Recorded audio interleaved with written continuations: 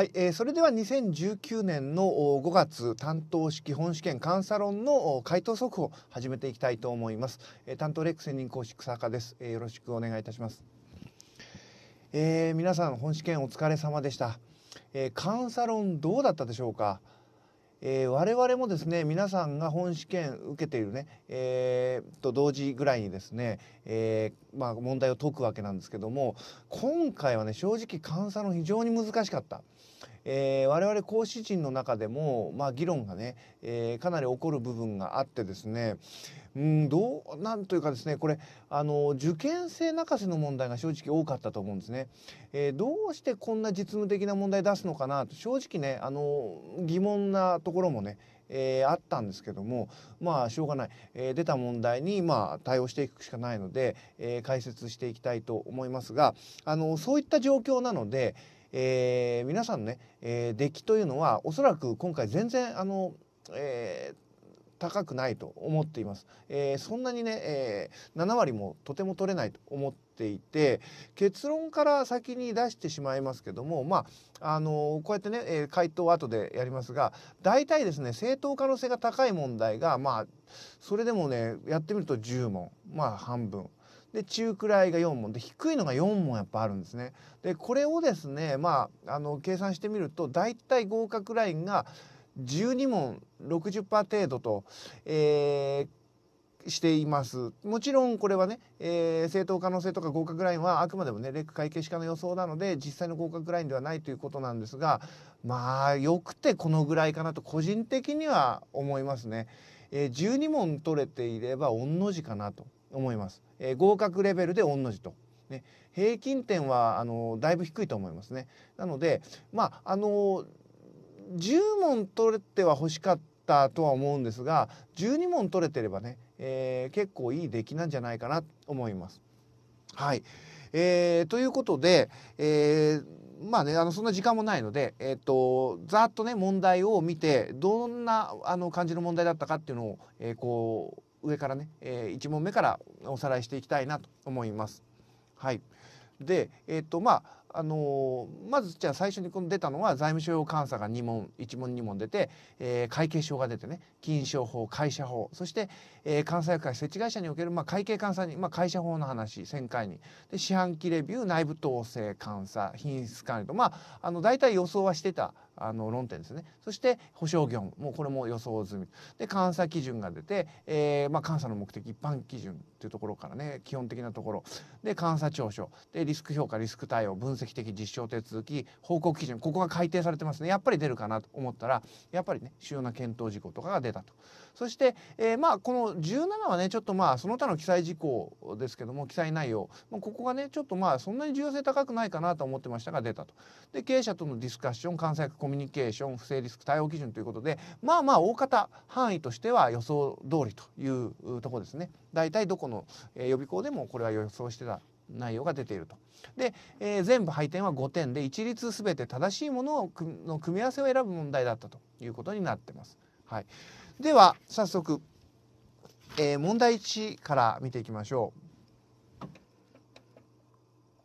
はい。問題1はねこれ財務諸要監査ですね。えっ、ー、とここはですねまああのね、えー、監査基準に詳細な定めがない時に、えー、これはですね、え、適正性事故の判断で行うわけですからまあここはね、えー、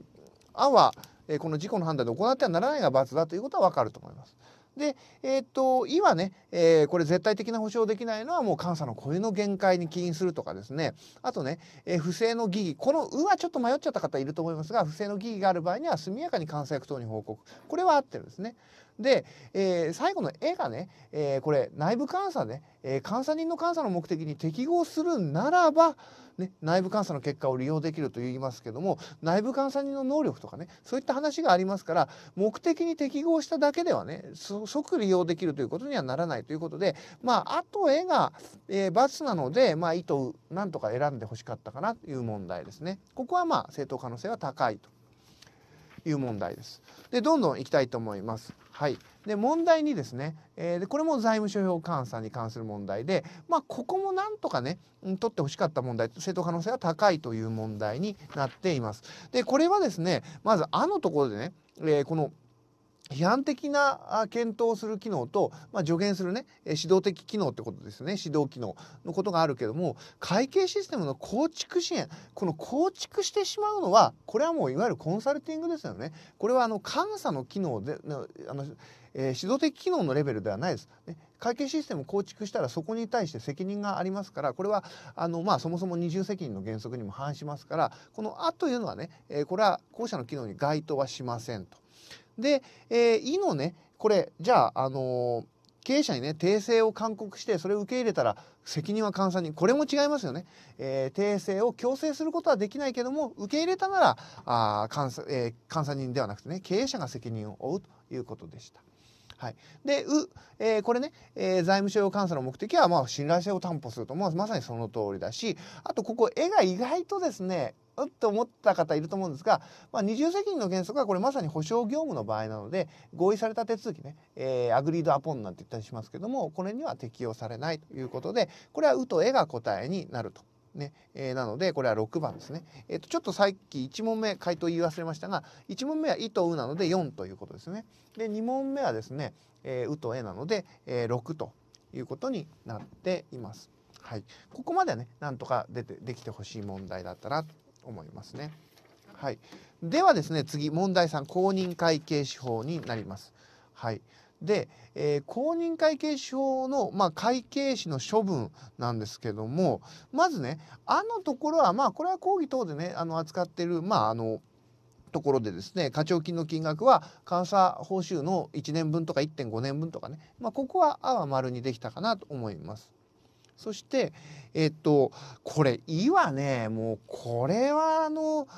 こんなの受験生に出す問題じゃないですよね正直ね。あのここはちょっとですねあのできなくてもしょうがないと、まあ、正当可能性全体として低くなってますけども、えー、これ会計士監査審査会は公認会計士に対する懲戒処分及び課徴金納付命令に関する事項調査審議し行政処分その他について内閣総理大臣に勧告することができると。なんか一見これあってそうなんですがこれ課徴金納付命令は端的に言うと勧告の対象じゃないんですよ。課徴金納付命令はま内閣総理大臣があの、ね、出すものであってこれ勧告の対象じゃないと、まあ、これはちょっと正直できなくてあのいいです。はい。あのね、そういう問題。で「う」のところですが、まあ、ここはね逆に知っていてほしい。あの登録の、ねえー、抹消の処分を受けたらこれ2年じゃなくてこれ5年ですからね。5年。なので「う」も×と。いうことであとあの絵ですね。絵はまあここはねもうあのえー、会計書の46条の10とかね、まあ、30条2項とか、まあ、あのそういったところでですね、まあ、丸にできるんですけども。絵が丸っていうのもですね。なんか「い」も丸なんじゃないかということで「あ」と「い」と「絵でね、えー、かなり迷うと思います。はい、ですからあのここはもう正直あのできなくてよかった問題ということになります。で、えっと、問題4に行きますね。で、問題4もですね、これ、金賞法の問題ですけども、ここも正直難しいと思いますね。で、あの、あのところね、えー、これ、えー、確認した旨の確認書ですけどもこれは U 法と市販法は必要なんですけどもこれ内部統制報告書の確認書はね、えー、不要こんなのもねあのちょっとあの受験生ねこれ中瀬の問題ですよ。ここも正直できなくていいとこですね。はい、でいこれもですねここも難しいですよね。これあの実務で携わったことある会計士とかはねあのまあまああの知ってるところではあるんですけどもあのこれ新規上場の場合で、まあ、この一定のね会社資本金100億以上とか負債1000億以上の会社を除いては上場後3年を経過する日まで免除される何がかっていうとこれちょっと注意してくださいねこれあの正しい選択肢なんですけども内部統制監査報告書の提出は免除されるということで要はまあ監査受けなくていいってことなんですよ。監査報告書のまあ受けなくていいというかね監査報告書を提出する必要はないと。でもこれ内部統制報告書自体は提出必要ですからね内部統制報告書の提出は必要なんだけど内部統制監査報告書の提出は3年免除というだけなんでまあこれもできなくていいですよはっきり言ってね。はい、で「う」のこの概要書もですねこれも受験生にとったらはっきり言って酷な話でですね、えー、まあこれ概要書はですね報告書、まあ、例えば監査報告書の作成日からこれは3ヶ月じゃなくて1ヶ月なんですよ。なのでこれもこれは×と。いうこと。で絵のね、えー、UFO とか内部統制報告書の講習の縦覧ですけども、えー、5年で半期報告書と市販法は3年とこれは正しいんですが、まあ、これは正直もう、あのー、今回の問題の中でもね、えー、これもあのかなり難しいもう1、2を争うぐらいできなくていい問題ということになってます。えー、答えは1への5番ですけども、まあ、こんなの合否に全く影響しないのであのちょっとねあのこういう問題があのスタンダードだと思わずにですねあの受験生の皆さんもねあの正直勉強続けていただきたいんですがあのこんなところをね勉強するぐらいだったらはっきり言ってあの財務会計とかね管理会計の大事な例題をやった方がよっぽどいいですからね、はい、あのこういうところは気にしないということになります。はい、でえっと次問題5ですね。えっ、と会社法監査制度です。はい。で、えっ、と、まあ、これはね、中程度ぐらいにしています。正当可能性は中程度と。で、えっと、ああもね、これは、まあ、あの、どうなんでしょうね。会社をやってると逆にわかるんですかね。あの、まあ、知らないよっていう方も多かったと思いますが、あの、会計監査人設置会社がね、意見を表明しないと。計算書類に対して意見を表明しない場合でもね決算広告するんでこれを行うことはできないというところはまあ罰になるとまあここはちょっと選択肢として判断できなかったかなと思います。逆に「い」はこれ会社法も勉強されてるから、ねえー、これ会計監査人が意見をことにする時は定時総会に出席して意見を述べることができるのでこれは最後できないっていうところが罰になると。いうことなんです。なので結果としては「う」と「え」が答えになるのね「えー、う」と「え」の6番ってことになるわけですけども「えー、っとう」はねこれも知らないですよね。これあのー、公開会社でね、えー、非監査業務の対価、まあ、いわゆる二項業務ですよ対価を監査人に支払ってる時はその非監査業務の内容を事業報告に記載とねこれも事業報告の話ですけどだですからまああの知らなくていいんですけども、まあ、一応これはあの丸と。で絵はこれ逆に分かれますね。絵は、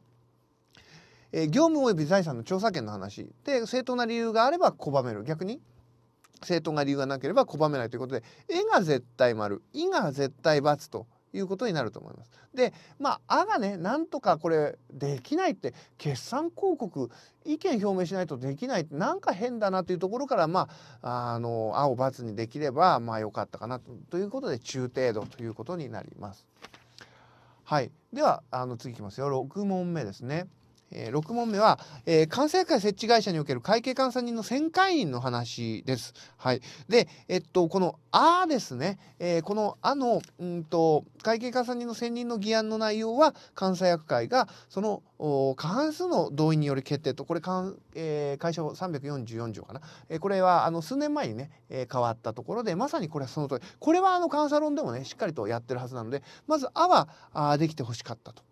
で「い」はねこれはちょっと受験生また中瀬ですよね。これあのまあ会計監査人が辞任したけども直ちに臨株を開催できない場合にはあ過半数の同意で一時会計監査人を選任できると。これよく読むとねえー、会計監査人が辞任して誰もいない時なんで、まあ、あの一次会計監査人がいないと困るなっていうところから選任できるじゃなくてね、まあ、これ選任しなきゃならないなんだというふうにあの考えれた方は良かったと思いますが「い」はなんかちょっと難しかったかなと思います。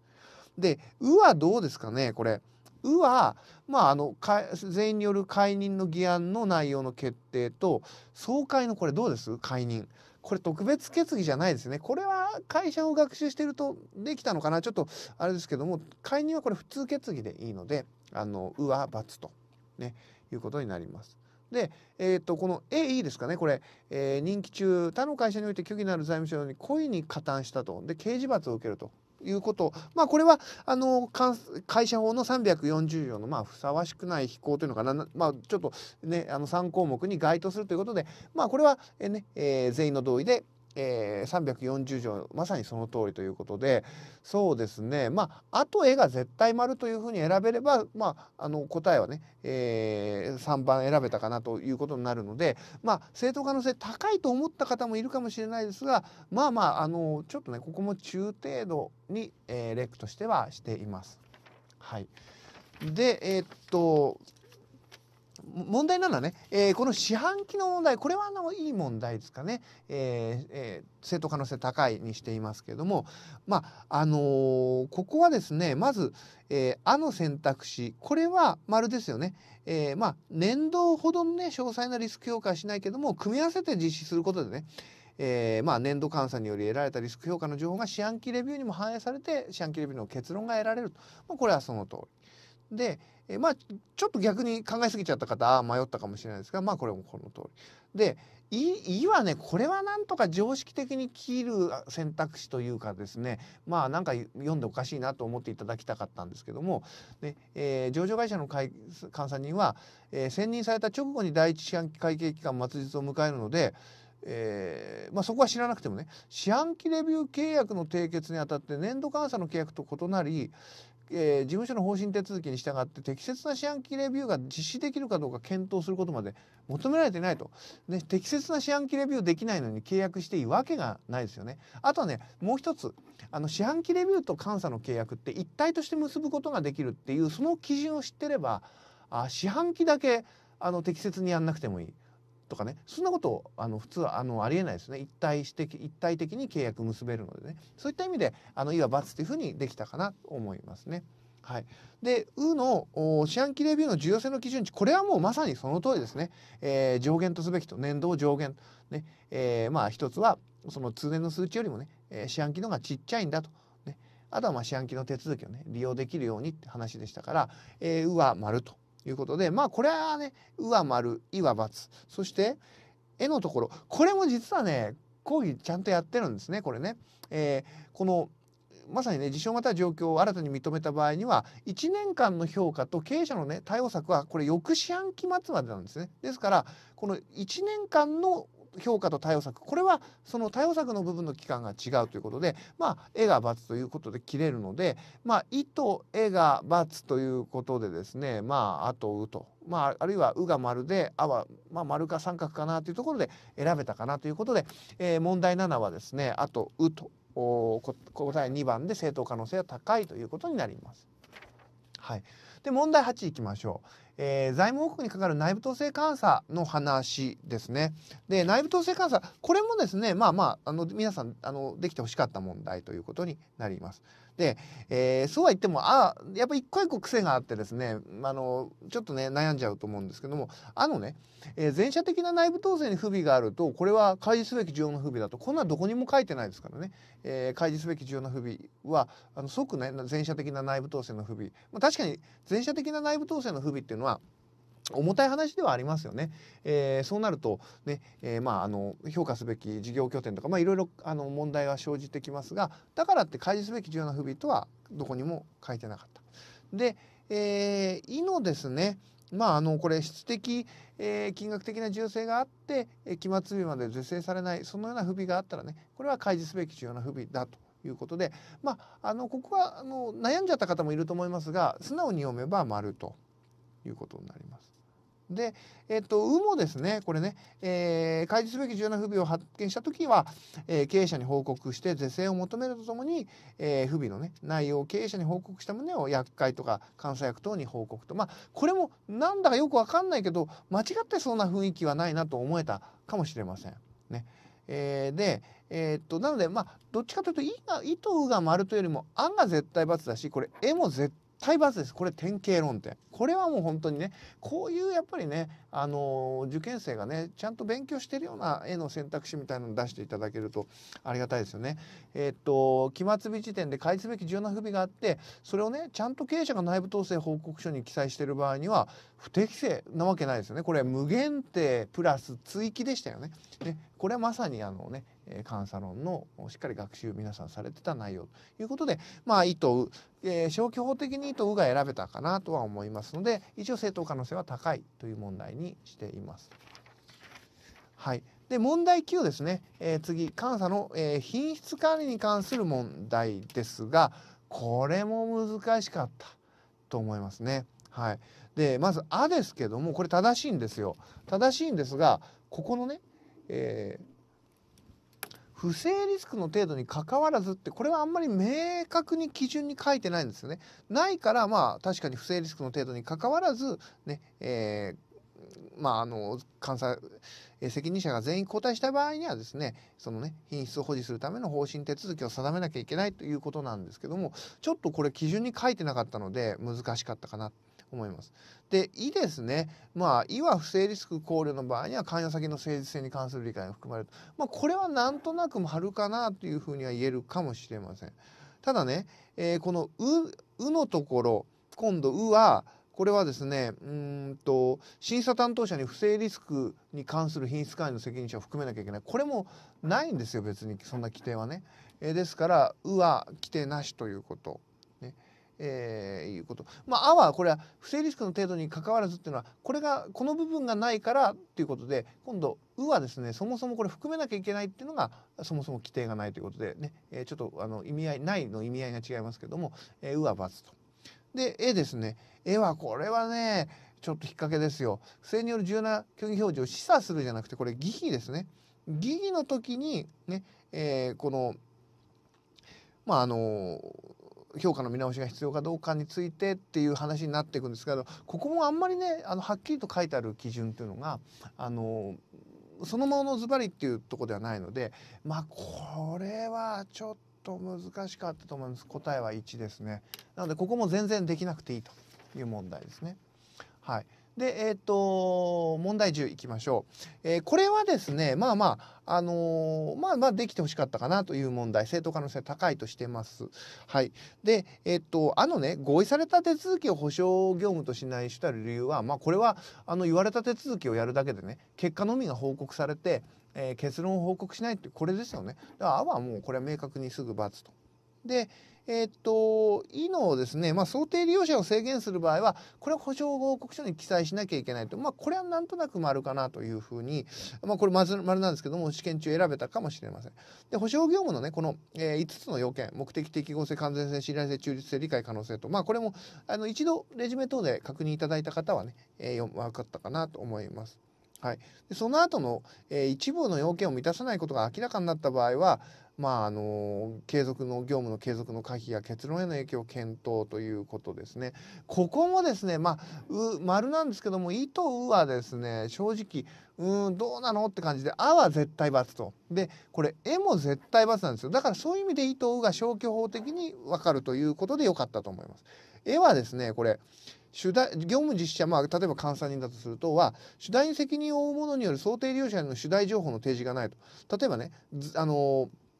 えー、まあじゃあ内部統制で内部統制報告書の提示がもしない場合、まあ、アメリカのような場合でダイレクトレポーティングの場合には主題情報保証報告書に記載とつまり内部統制報告書を監査人が自分で記載して作って記載してそんな話はないですよね。それはあの作成責任があるようになってしまいますので、えー、この絵はね主題情報ねまあ、財務省とかかあの内部統制報告書とかこれをですね保証報告書に記載ってこれはありえないのでそういった意味であと絵が×ということで問題中切ってほしかったということになりますので正当可能性は高いという問題ですね。はい、では次に問題11監査基準の問題です。はい、で監査基準はですね、えー、これはですねまああの正当可能性ここは高いにしています。ね、で、えっと、見ていくと「あ」ですけども「あ」は、まあ、これはですね監査基準が社会的な規範とねして確立することが、まあ、あのこのね監査を一定の水準に保つために必要でその規範の一つが監査基準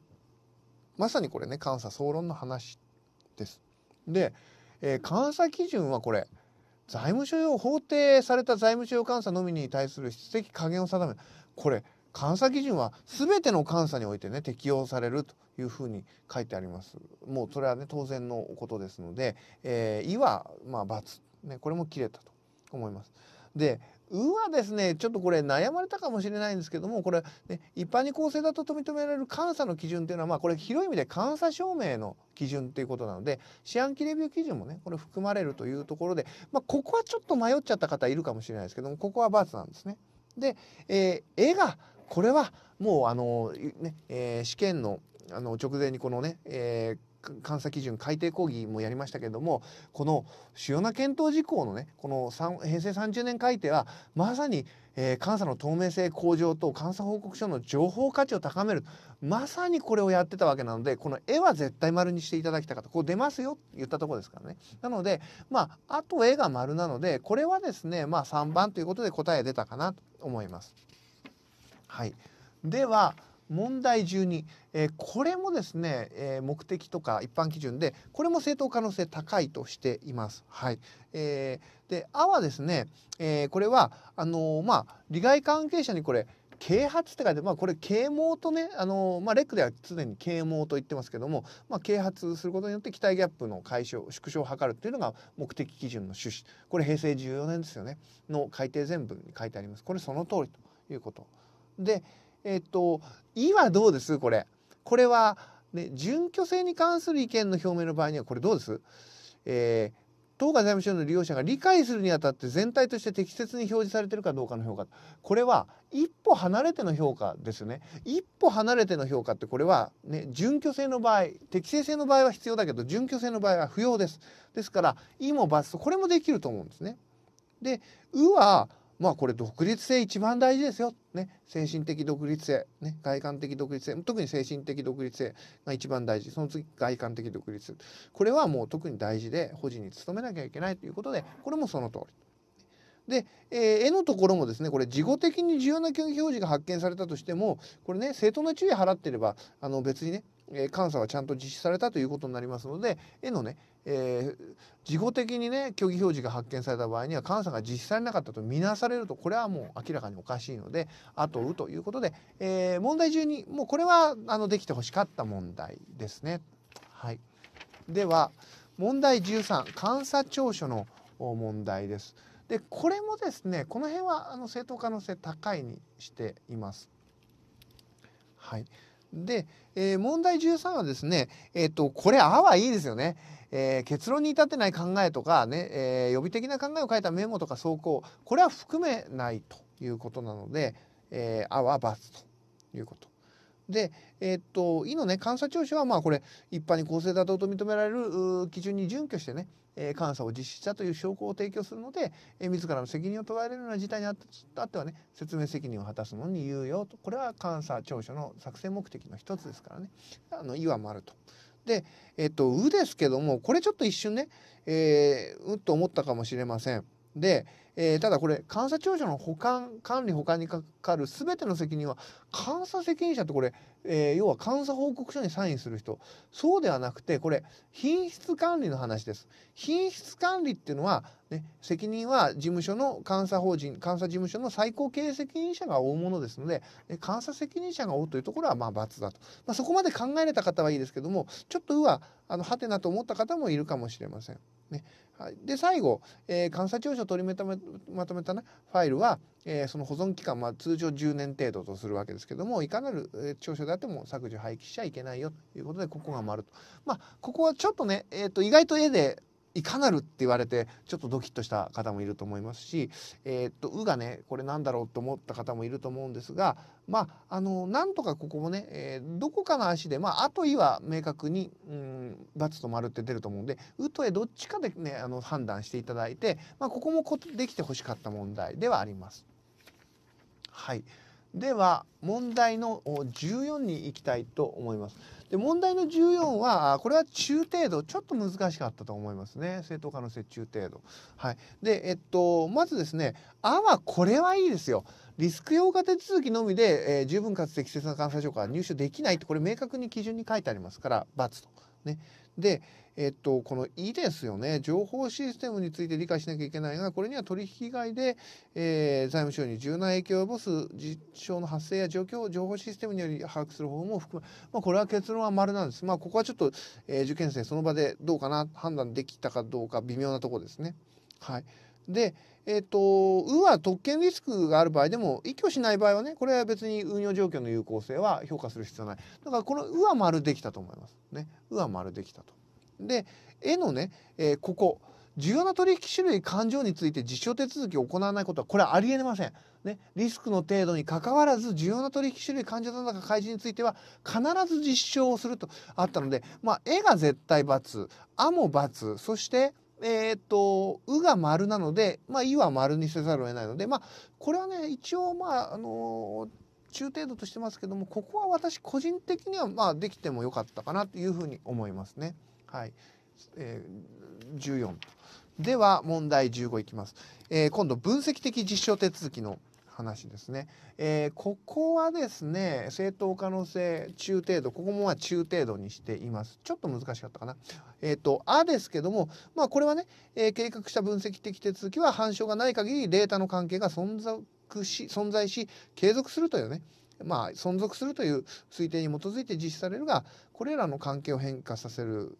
状況の例として通例でない取引とか、まあ、会計処理の変化事業の変化、えー、虚偽表示等ということが挙げられるということでまあこれ文章読んでねああそうだろうなということで回答してほしかったと。これ実はあの現行の換気法には載ってないんですよ。ね、昔のこれ分析の換気法に載ってた文言なんですけども今の環境にはないのでここはまあちょっと読んでそうだろうなというふうに、えー、思っていただければよかったと。で「い」がねこれはあのちょっと勘違いされちゃった方はねあのここはあのいると思うんですけどもあの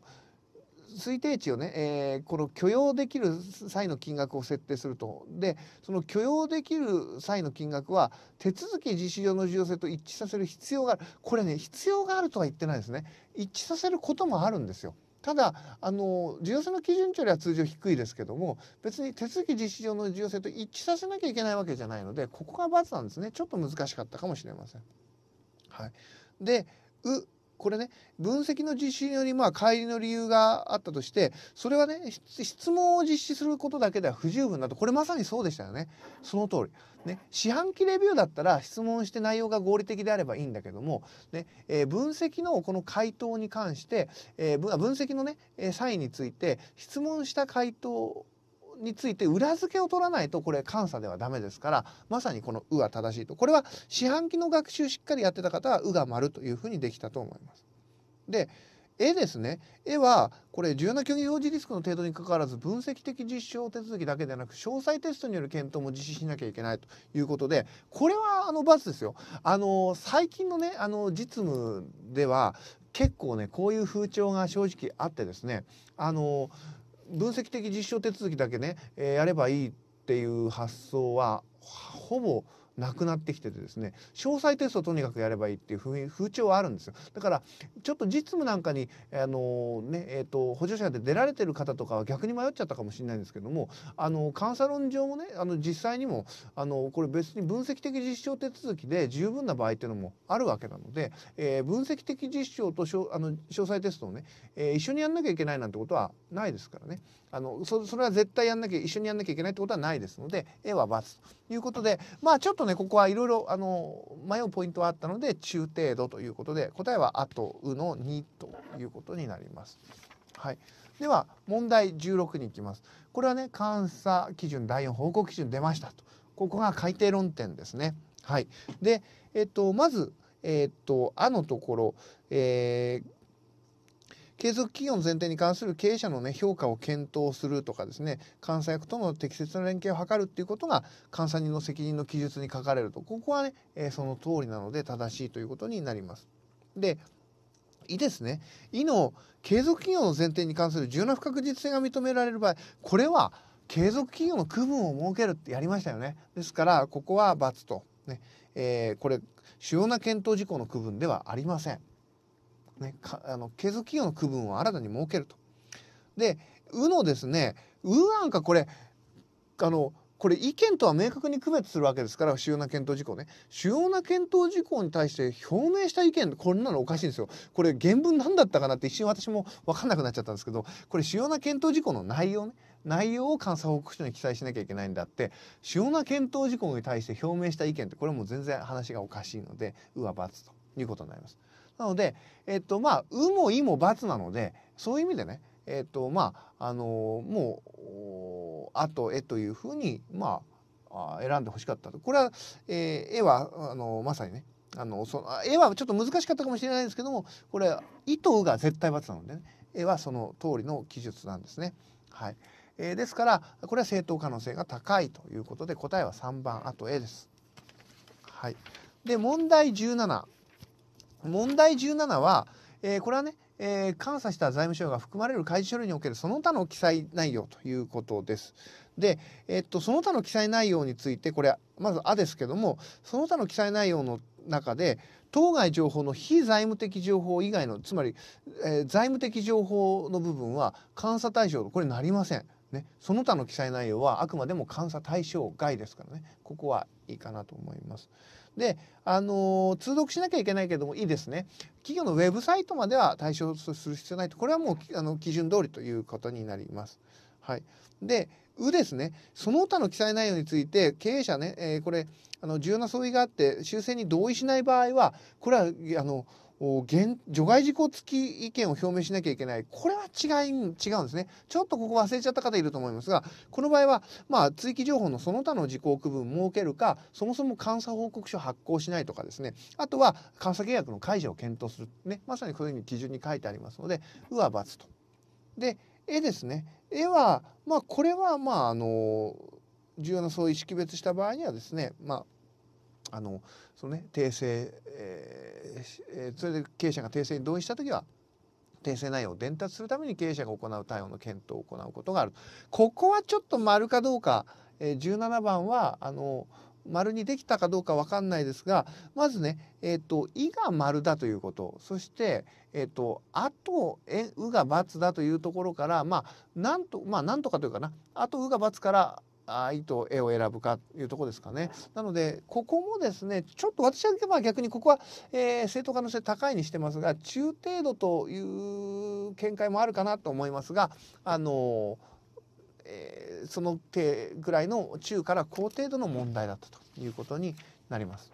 はい、で問題18、えー、経営者とのディスカッションですね経営者とのディスカッションでこれはですねあのちょっとあの意外とすんなりできちゃった方もいるかもしれないですがあのここは考えちゃうとすごい難しかったかなと思いますね。はい、で「あ」ですね「あ」はえっ、と「あ」はねこれはちょっと学習してた方はできたかなと思いますがあの企業構成員への無制限の質問や面談の機会とかねあとはあの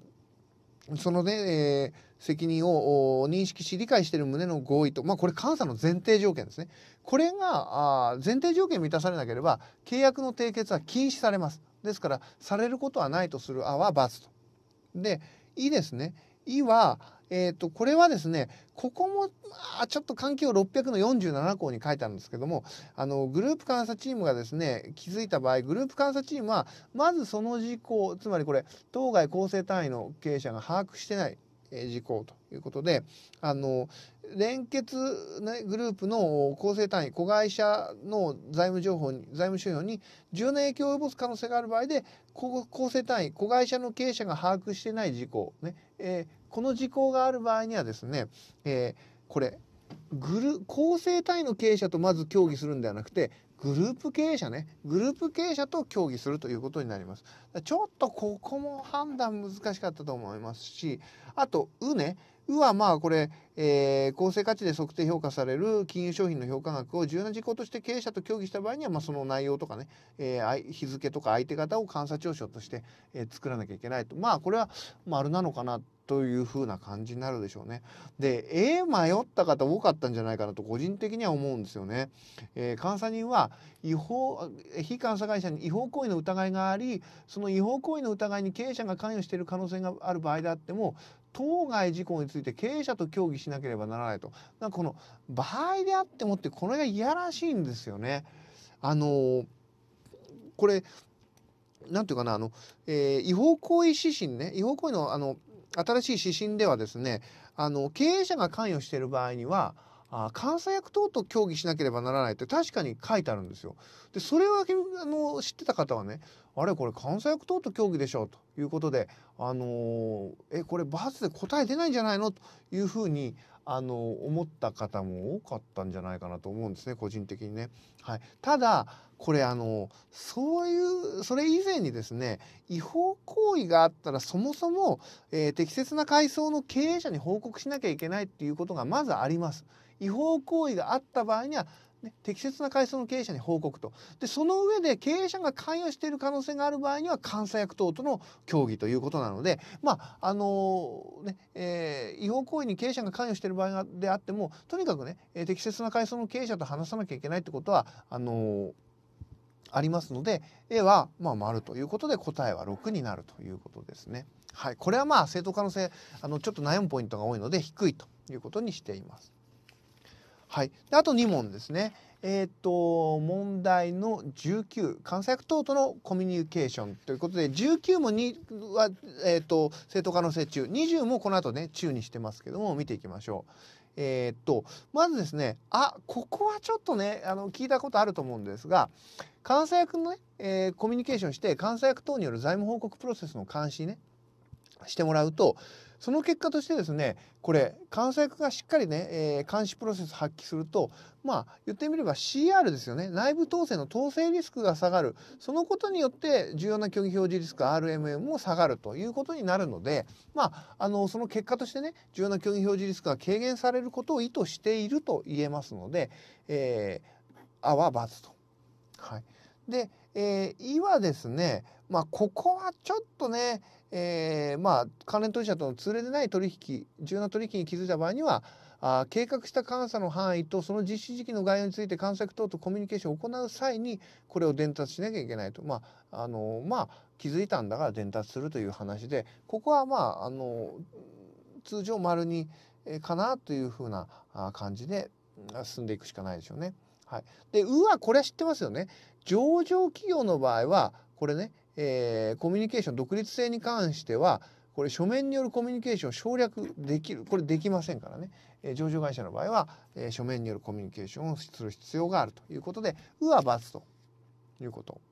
で、えー、なので「う」と「は」がねこれで×になっちゃうんですよ。だからまあ「い」がちょっと微妙であったりね、え、あるいはあのこの「絵のところが微妙だったとしても「あ」と「う」でまあ切ってほしかったという問題になります。はいまあ、絵もねこれ読む読んでこれもうその通りなのでその通りで押さえていただければいいですがこの試験にあたって絵をはっきりしてたって方はそんなに多くなかったんじゃないかなと思います。はい、それで最後ですね。20問目、えー、不正リスク対応基準です。はい、えー、これも中程度ですけれども、まずね、えっ、ー、と、あのところ、えー、っとまあ、追加的な不正による重要な競技表示を示唆する状況があってね、えー、疑義が存在していないかどうかをするためにはですね追加的な監査手続きとともに経営者に質問なんかうんと思うかもしれないですけど、まあ、これその通りなんですね。で、えっと、今これ大丈夫ですね。不誠実であるとこの過去にね不正を行った場合には不誠実であると想定しないこれはそうじゃないですよね。不誠実であるとも不誠実であるともまあ想定しないと予断を持たないね、これ従来から変わってません不正リスク対応基準だからって変わってません。はい、で、えーと、「う」はですねこれはそうですね、えー、何か不正を識別した場合でもね、え、非監査会社の同意とかねあとは法令の規定に基づくなどの正当な理由があるなければ規制当局に対してもね、えー、報告してはならないとこれはそうです。法令等に基づくことならいいんですけども法令等に基づかないような場合はねダメだと報告してはならない。で絵もねこれいいと思うんですよ。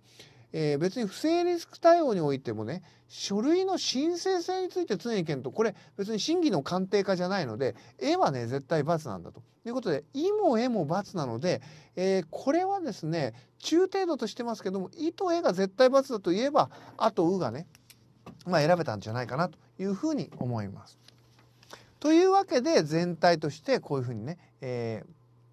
えー、ちょっと画面上映してますけども監査論は、えー、回答とね正当可能性がこういうふうな画面のようなことになっていてなので、まあ、合格ラインは12問程度というふうに思っています。特にこの、えー回答速報の中でねお伝えした通りあの正当可能性低い問題でもうあの特にあの実務的な問題ここまで受験生ね、えー、知らなくていいというふうに、えー、お伝えした問題はですねはっきり言って、えー、そこまで今後のあの例えばあのこれを見られて、えー、次回ねの担当の本試験を初めて受けられる方なんていうのはそこまであの対策してたら他の科目に影響を与えてしまう。ねえー、そうなりますので監査論ではね、えー、今回正当可能性高いと中程度というところができる、えー、レベルまで、えー、勉強を進めていただければもう十分に合格ラインだとね、えー、いうことをです、えー、特に今回正当可能性高いと中程度とったら16問でね、えー、8割になっちゃいますから、えー、まああの正当性高い問題をもう10問中のまあ9問ぐらい取ってですね。で正当性の中程度っていうのは6問中3問取れば12問で合格ラインかなというふうに、えー、考えています。ね。えー、なので、えー、まあ今回の問題についてはあのちょっとね2年ぐらい前かな。もうどの問題もよくてですねもうこれはもう全問題を復習してくださいとね今後のためになります。言ったところからするとまあかなりねあのできなくてもいい問題今後も対応する必要ない問題というのもありますけれどもまああの講義の中このね解説の中で、えー重性が高い中くらいというところについてあるいは低い重性あの正当可能性が低い問題であっても選択肢ごとにねあの押さえておくべき、まあ、できるべきっていったお伝えしたところについてはあのよくね押さえておいていただきたいと思いますし、えー、今後のね論文対策としてもですね、えー、この動画の中で、えーまあ、ここはできてほしいっていうところはあの論文対策上もできてほしいところというのがあのほぼね監査論は変わりませんので、えー、ぜひねえー、よく復習をしていただきたいというふうに思います。はいえー、それではあの、えー、監査の本試験ね、えー、大変ね暑い中あの、えー、疲れたと思いますけどもあのねゆっくり休んでいただきたいと思います。はい、えー、それそれではですね、えー、監査論の2019年5月、えー、正式には平成31年第2回担当式試験のね監査論の回答速報これで終わりにしたいと思います。どうも皆さんお疲れ様でした。